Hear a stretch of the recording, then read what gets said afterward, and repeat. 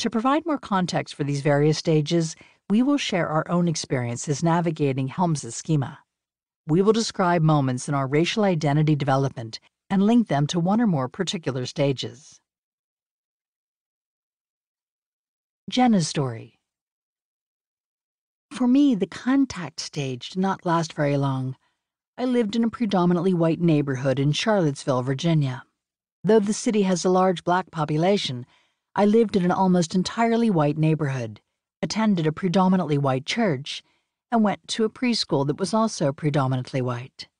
I would not have been able to articulate at such a young age ideas such as being colorblind, but I certainly started to hear those messages. Though my parents were activists of a kind, they still believed that to talk about race was racist, so we didn't very often, except in an exoticized way with an almost envious tone, a black culture in particular.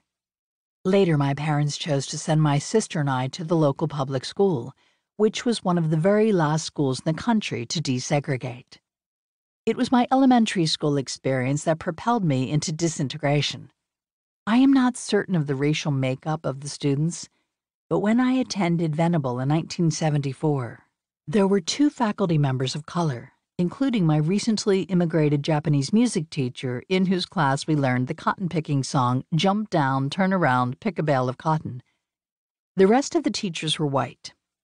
I started having black classmates and friends, and on occasion, I would go on playdates to their houses.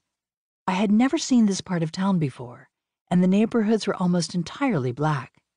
The houses were smaller and there was trash in the streets. At school, though I'm certain I could not have articulated it, I understood on some level that the expectations for me and my other white classmates were different than for my black classmates. I could not make sense of these disparities that clearly fell along racial lines.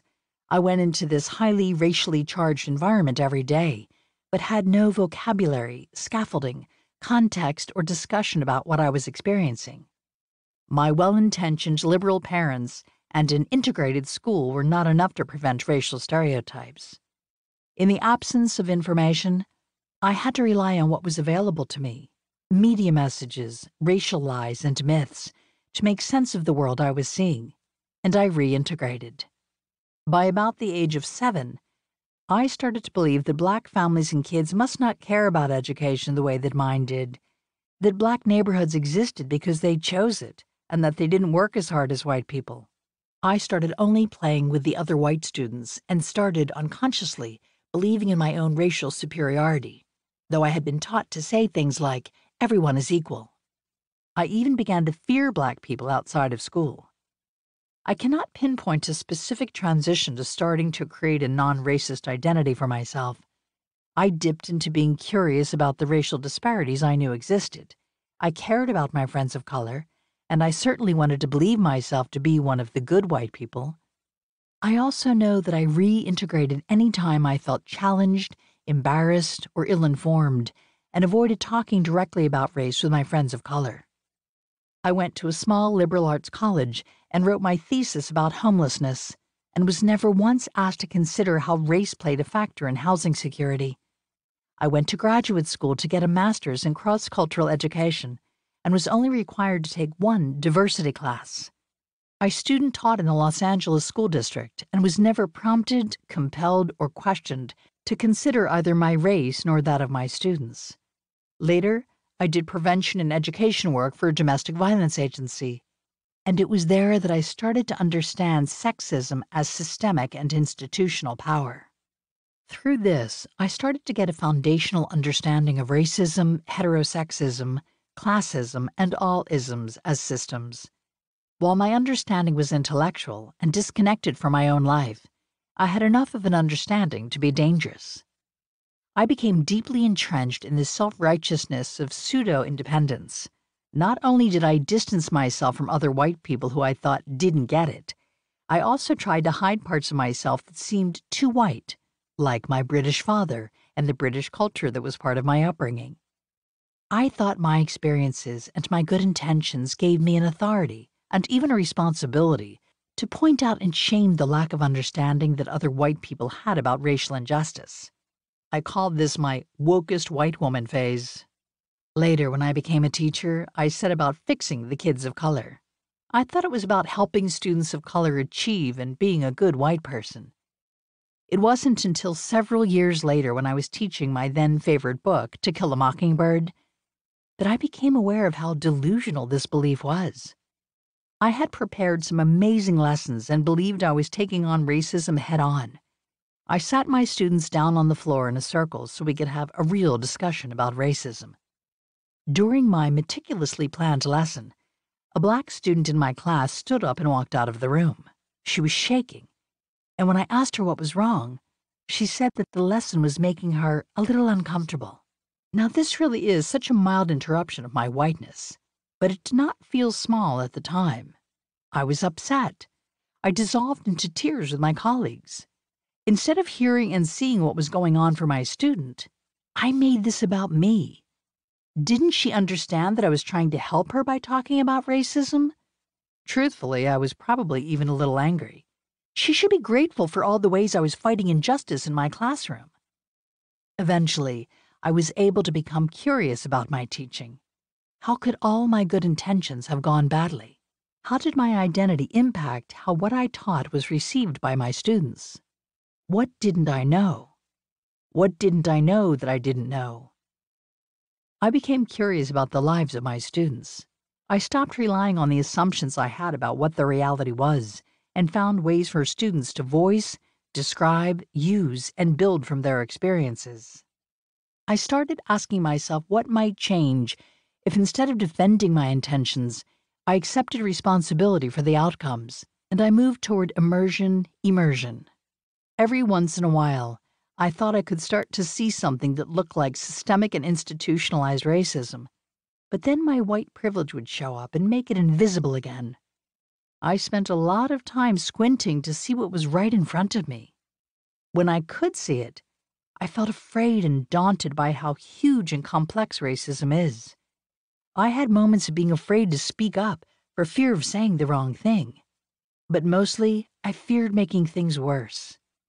After the murder of Trayvon Martin, a black woman friend asked me what I was going to do to keep her black son safe. This conversation, and others like it, made me realize that my fear of speaking up was not valid in the face of the fear that my friend faces every day for her family. Autonomy still feels aspirational. The more I know, the more I understand how much I don't know. I try to stare at those feelings of superiority that still arrive and to acknowledge them, because the more I try to deny them, the bigger they get. I have been able to take back the parts of myself that I had disassociated from before. And now nothing makes me feel better after a hard day than watching a good British costume drama. I feel better able to feel compassion for white people, even when they frustrate me, including myself. Elizabeth Story I grew up in Silicon Valley as it was coming into being, and most everyone looked, talked, and sounded like me. I was raised in an Italian and Irish Catholic family and both sides of my family immigrated to the United States around the turn of the century. I was very aware of my ethnic identity because my grandparents spoke only Italian, and my mom often talked about her grandmother from Ireland. But we never talked about being white. And while my hometown was majority white, the surrounding towns were filled with people of color. So I have memories of talking about the race of others, just not my own. But those observations of racial identity were generally made in hushed tones from my parents, a very clear message that I was not to talk about race. I was able to stay in the contact stage for a long time, and any time I encountered what I now know to be racism, I was able to come up with a different logical explanation for why it was not about race. When I first started teaching many years later, I joined a school midway through the year and was asked to take over a literature class that had erupted a few days before I started because of the use of a racial slur in a story by William Faulkner.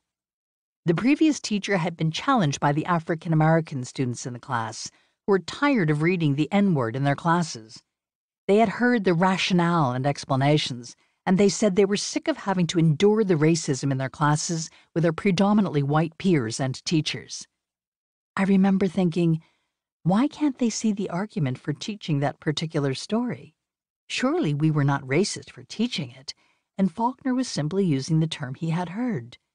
What was the problem, and why were these young people so upset? And then I realized it was the very first conversation I had ever had with African American students on the subject of race. This was a textbook moment from Helms's work, my contact stage moment in which I was still unaware of my whiteness and was asserting my worldview as normal. The following school year, I had a very different experience teaching an ethnic voices class at another school. The class was split evenly along racial lines eight white students and eight students of color. What I didn't realize was that I tipped the balance. My whiteness counted. The students of color were experiencing many different levels of racism, and I was having a very difficult time managing the class. I was in way over my head. About six weeks into the term, the eight students of color showed up at my desk. They told me they had decided to drop the class, and they were willing to get an F and risk losing college acceptances because the racism they were experiencing was intolerable. Because I had not come to terms with my identity, the class was facing its own crisis. They looked at me intently and asked what I could do. What could I do?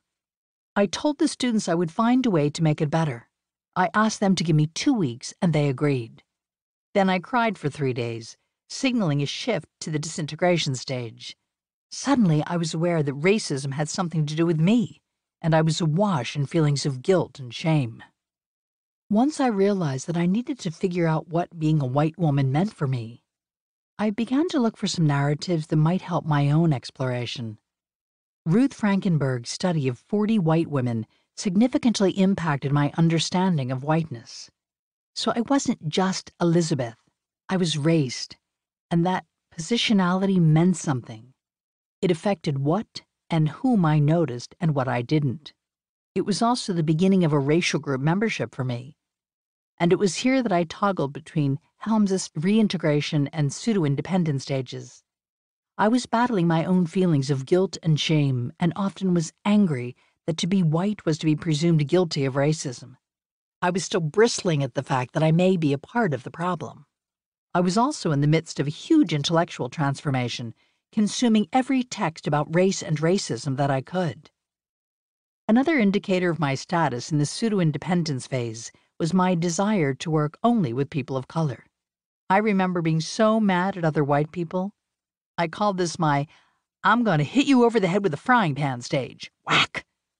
I was going to make sure every white person understood racism and white privilege. I was done with all the foolishness. I was going to clean up this racism mess once and for all. Now, we call this the smartest white person in the room moment, and I was great at it. Perhaps most importantly, it is a space filled with arrogance. I remember thinking, I can't believe people haven't figured out how to end racism yet. The fact that I could now see racism was quickly processed as, What's wrong with the rest of y'all? Here is white supremacy at perhaps one of its most effective moments. Because I now see something, I must have discovered it, and I alone will remedy it.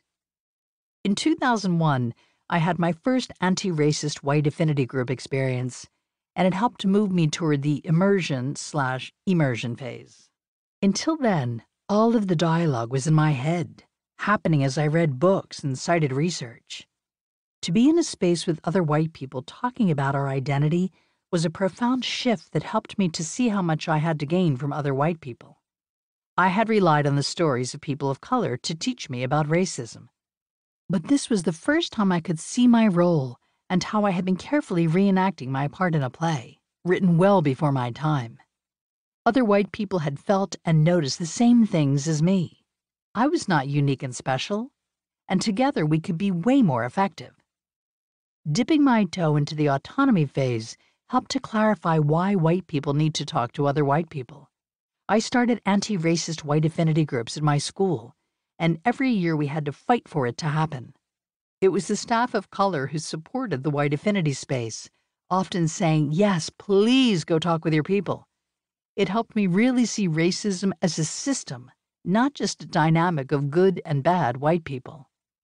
Every year, white people would fight the existence of these groups, They would argue with vague and nebulous statements, always about this feeling they had, which I now understand was their profound discomfort.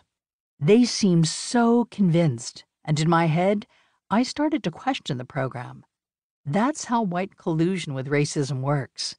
White folks are really good at getting other white folks to stay in line and support the status quo and doing it all with a calm tone of voice and positive facial expression. I could start to see how these white colleagues really believed what they were saying. There was no way they were complicit, and their feedback to me was genuine. I could now recognize myself in them, and that empathy helps me have more compassion and resolution. I'm grateful for these fleeting moments of autonomy when I feel like I am part of an anti racist community where our whiteness can be recognized, interrogated, and used to fight racism and diminish the harm to people of color. I struggle to fight the judgment that can creep in, and I strive to stay as humble as I can while also holding myself and others accountable. As you can see, there are some common threads between our two stories and some unique experiences that have guided our ways into racial awareness. If this were prescriptive, we would all be able to see the clear way forward. But it is not. Ultimately, the work of locating yourself within white identity and how you have been shaped by your race is yours to do and understand. We want to offer encouragement to engage in this process as we both feel the grounding that comes with a clear reflection of ourselves. There is an ease that comes in not having to tie ourselves into knots to avoid knowing certain things about ourselves. There is encouragement in no longer being paralyzed by shame and guilt. There is comfort in knowing our strengths and in being able to name and nurture the parts of ourselves that need continued growth and support. There is relief in causing less harm to the people of color in our lives. There is joy in defogging the mirror.